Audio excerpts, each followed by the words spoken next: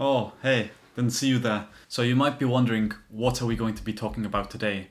And I have a very special topic for you guys, and this has to do with backslashes in Python. And you're probably aware that you can create a new line with a backslash, but there's a lot more you can do with it. There are so many different escape sequences that you don't see being used every day in Python, and I'm going to go ahead and show you what those are and how you can use them.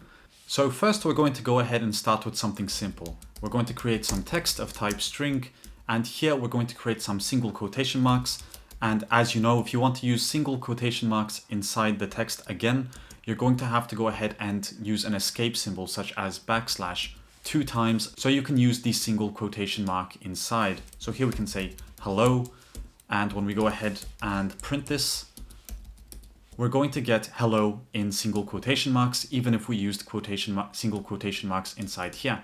So we were able to escape this. And this of course works also with double quotation marks if we want to use double quotation marks inside our string.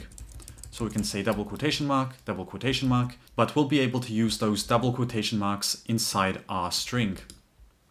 So that was the first and most common way that you could use the escape. Now you can also use it in case you want to escape an escape. As you can see there, we can escape the escape character and type in text. And when we go ahead and run that, we will have the escape character there. And the only rule to follow here is that you want to have an even amount of escapes or else the program's not going to know what you're trying to do. And it's also important that your text ends with an even amount of backslashes because if you insert a normal backslash, it's going to try to escape the quotation mark and you do not want that. Now the third way you can use it is with a new line. You can go ahead and type in backslash new line, add text, and it will create two lines of text. Here it's going to create the next line so that we just go to the next line. And this is a default separator for the print statement. So if you go ahead and double this, it's going to call new line automatically for us as soon as we print again. But if we go ahead and type in end and get rid of that, it's going to print it on the same line. So print does that under the hood.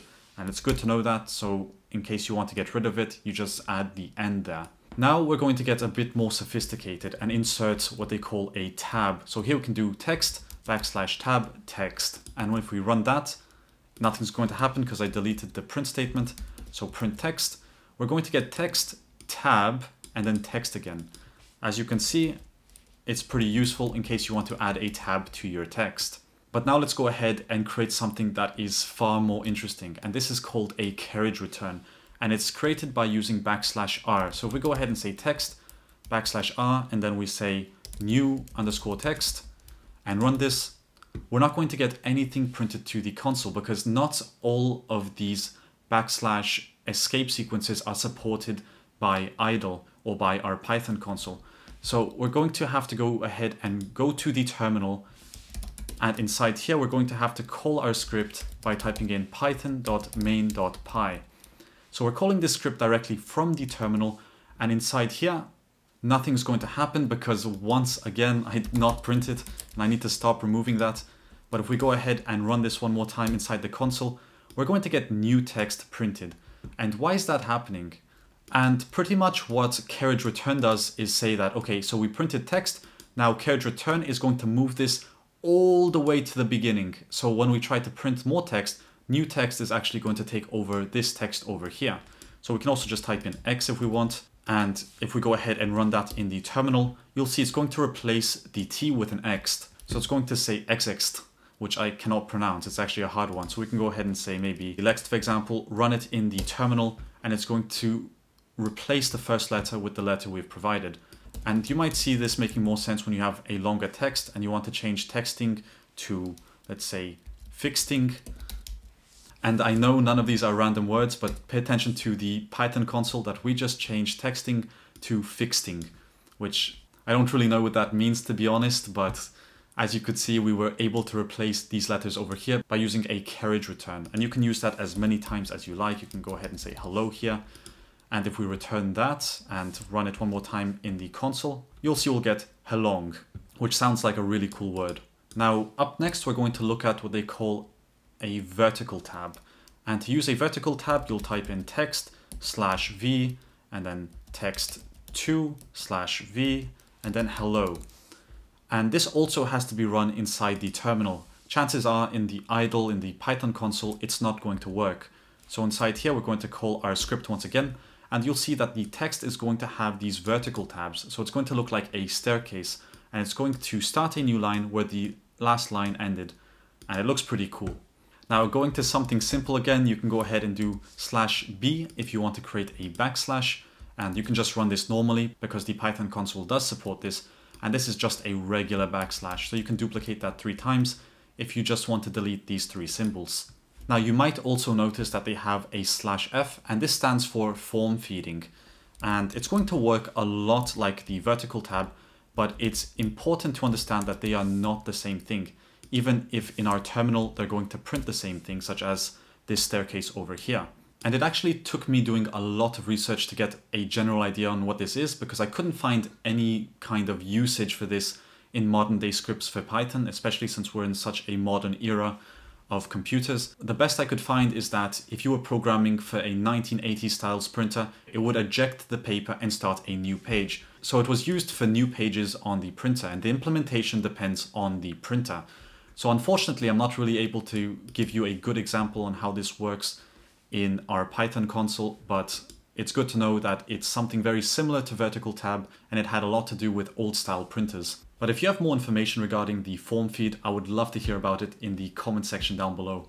Now this one I'm not going to be able to demonstrate to you directly because I don't have sound enabled in my recordings, but if you were to go ahead and type in text backslash a, this is going to provide an alert sound for your system. So if you so if you type in text followed by that and go ahead and run your script, it's going to create a sound in your system.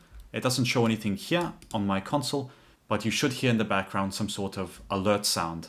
But that really depends on your computer as well. Now you can also go ahead and use this with hex values, and I'm just copying this from a website. This is going to print hello world, and these are hex values. So as you can see with the backslash, you can actually create something that recognizes a hex value. And this also works with octal values. So for example, if you go ahead and type in slash or backslash 100, it's going to print this octo value symbol here.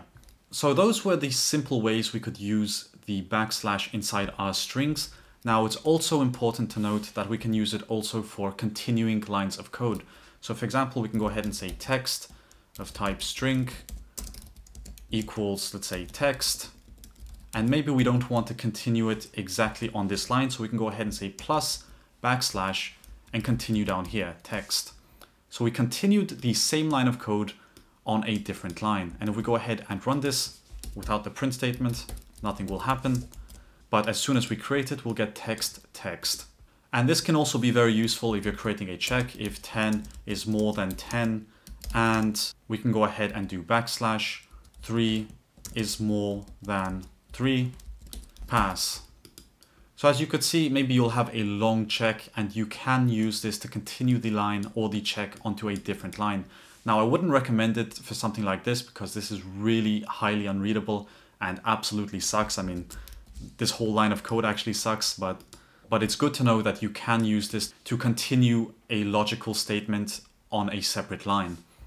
So that covers everything I wanted to mention about backslashes. I think they are super cool and you can do a lot with them. I didn't really know half of these until I jumped into them.